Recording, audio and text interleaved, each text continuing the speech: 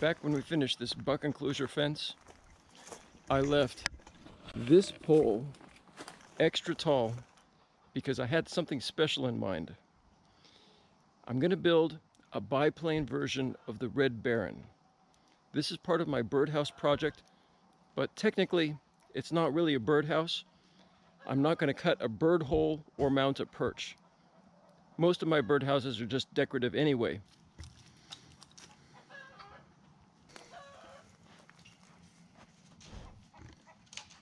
Goodies.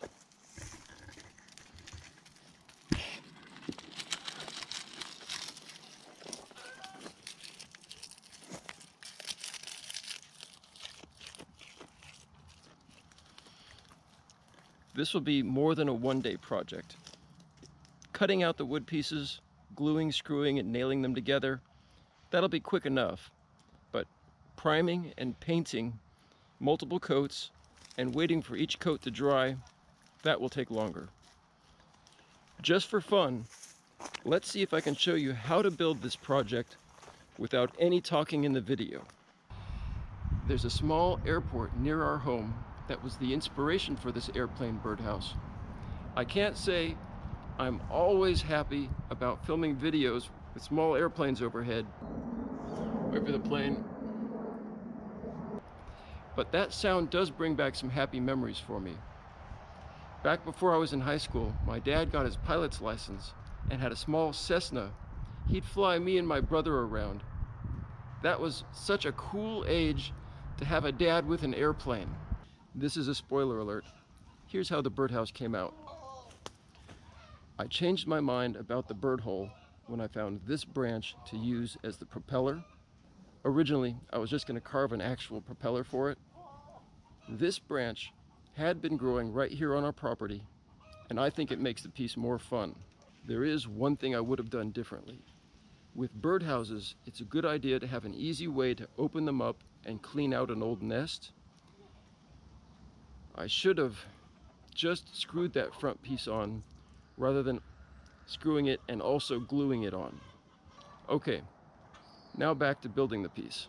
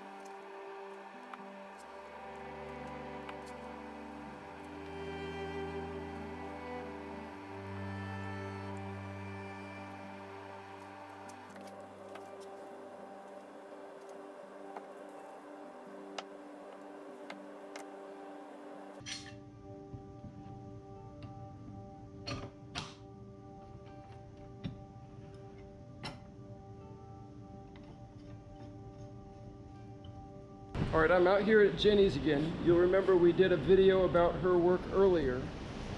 She's just finished one of her infamous shovel fire pits, and this one is extraordinary because it's shaped like a mermaid. Check this out.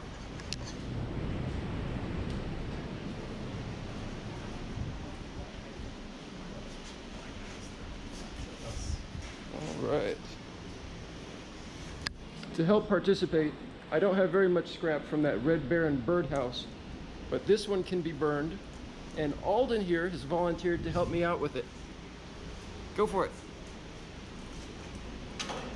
Thank you.